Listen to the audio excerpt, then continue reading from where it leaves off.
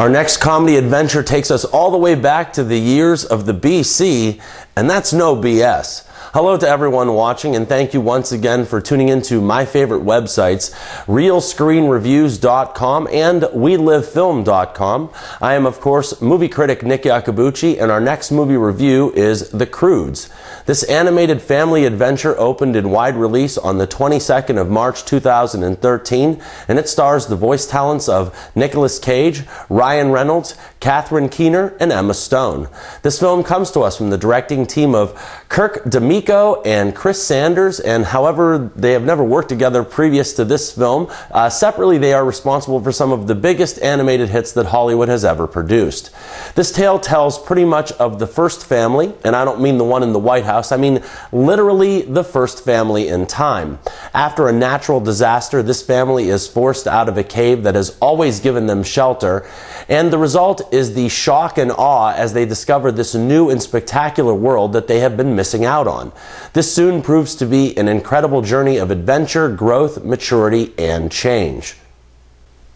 Well, people, I will start by saying that even though The Croods is a step below Pixar quality, it is still well above average. This is a wonderful looking film that will stun your eyes with its brilliant use of colors and imagery, and it is also funny enough to compare it to the famous Looney Tunes cartoons every now and again.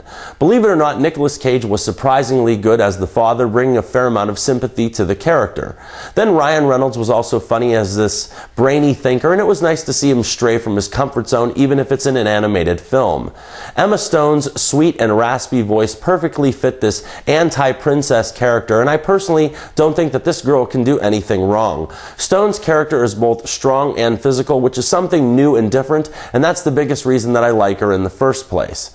Now, there are some other things to compliment as well. There is an amazing shot, excuse me, there is an amazing shot of a 180 degree dive into water that was well worth the price of admission all its own, and the 3D was effective in sequences like this throughout the film.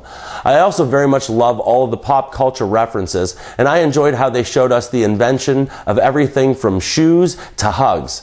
Alan Silvestri's score compounds the action and adventure, and as always, piles on the emotion. Then, director of photography and visual genius Roger Deakins is credited as a visual consultant, and his influence is easily seen in landscapes, jungles, fire, and many other aspects. I think he was credited as a visual consultant in The Rise of the Guardians from right around the holiday season. Now, don't get me wrong, because I did like this film very much, in fact, but it suffers from the same thing as most films outside of Pixar. The Croods disappoints when it comes to the development of characters and the arc of the story and narrative being told. It takes so much more than to just make a film look good, and The Croods comes close to a Disney Pixar outing, but does come up a tad bit short. The whole father daughter relationship seemed cheaply put together, and that's especially in the wake of the brilliant parent child relationship brought to life in Disney's Brave. However, they do what they can with this relationship, but also waste opportunities in other spots.